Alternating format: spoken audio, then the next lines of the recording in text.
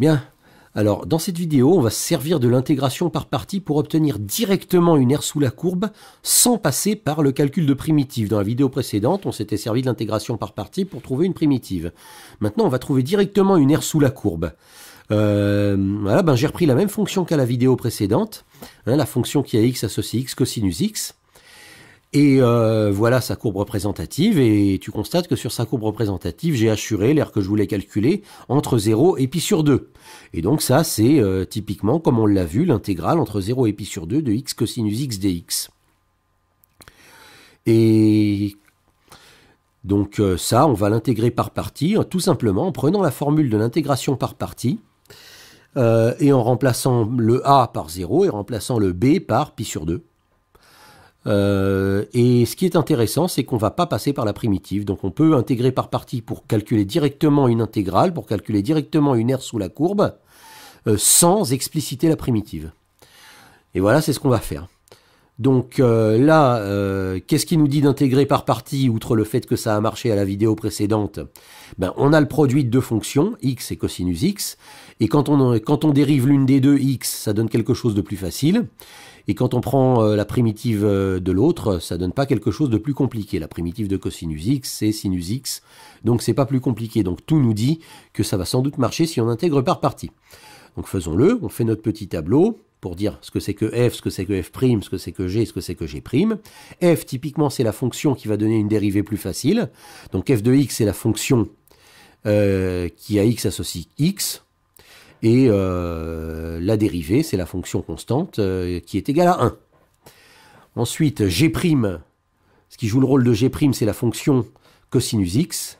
Et la primitive la plus facile, la plus évidente de cosinus x, c'est sinus x. Donc g, c'est sinus x. Donc la formule de l'intégration par partie, cette intégrale va être égale à fg, c'est-à-dire x sinus x, à prendre entre 0 et pi sur 2, moins intégrale entre 0 et pi sur 2, de f'g, c'est-à-dire de 1 fois sinus x, bon le 1 je l'écris pas, donc l'intégrale entre 0 et pi sur 2 de sinus x dx. Eh bien ça, ça se calcule très bien. Donc continuons. On va calculer le crochet. Donc euh, évaluer x sinus x en pi sur 2 et en 0 et faire la différence. Donc en pi sur 2, ça nous donne pi sur 2 sinus pi sur 2. Euh, moins 0 sinus 0 qui vaut 0, donc 0 euh, sinus 0 je ne l'écris pas puisque ça vaut 0, moins, et donc l'intégrale entre 0 et pi sur 2 de sinus x dx, c'est pas un problème puisque je connais une primitive, et une primitive de sinus x, c'est moins cosinus x, donc c'est moins, euh, moins cosinus x, à évaluer entre 0 et pi sur 2. Voilà, eh bien, continuons. Donc euh, là, ensuite, je regarde, je remarque que sinus pi sur 2, le sinus de pi sur 2, ça fait 1. Donc euh, pi sur 2, sinus pi sur 2, c'est tout simplement pi sur 2 tout seul.